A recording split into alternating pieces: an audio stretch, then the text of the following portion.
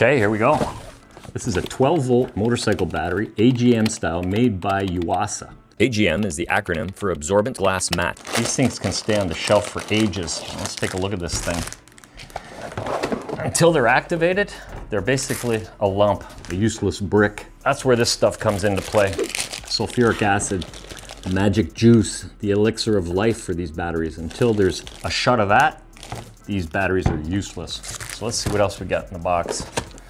Oh, we got a little nut and bolt pack, and that's just so you can tie down the terminals. And I think that's, yep. And then we got instructions. And of course, you're gonna read the instructions. I always do, but I usually wait until I'm done the project to see where I went wrong. Anyway, let's crack on with this. So, just find a clean, level surface. The next step is to peel off this bit of foil that seals the battery. Just peel it back, and what that does is expose the tops of the battery. There's six cells in here and you can see there's six little tubes. That allows access for the acid. And that's the next step. So we're gonna mess with this stuff, the sulfuric acid. Now there's no playing around with this stuff. It is very corrosive. So at the very least, you wanna wear some safety glasses. And it wouldn't hurt to have some rubber gloves too. Now you wanna save this bag because we can dispose of that container in it afterwards. Now you notice on the top here, we've got this little cap system and they're all linked. And you wanna save that because that little cap system there, that's actually what we put on the battery after. That's the cap to seal the battery. So put that to one side.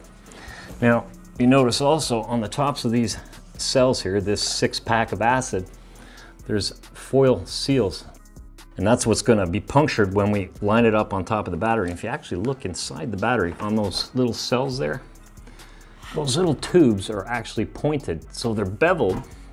They're actually just not flat. There's actually a bevel there so that when you press the acid bank on top of it, it pierces those little condoms.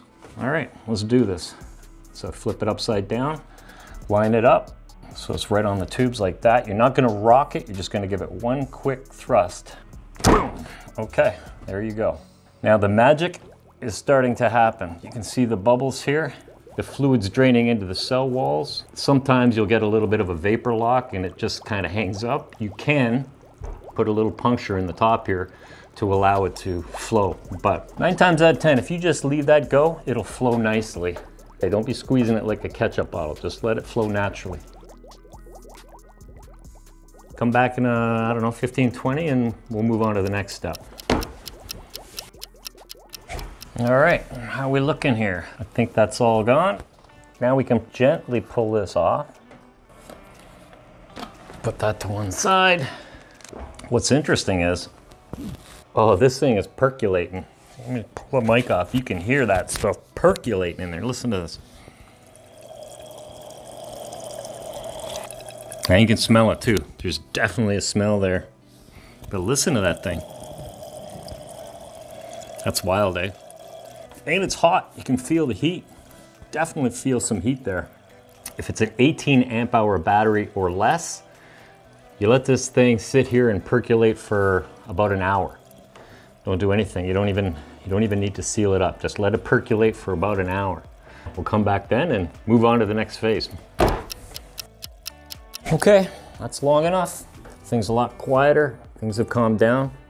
Not much smell. Okay, so we're ready for the caps. And they just slide into these top holes here. Very easy. Just line it up. There's nothing to it.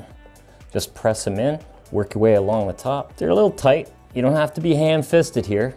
But mother, what the? Yama Holy. Holy smoke. All right. okay. Well, if you notice on the top here, it says, do not open. Yeah, I don't think you could open it.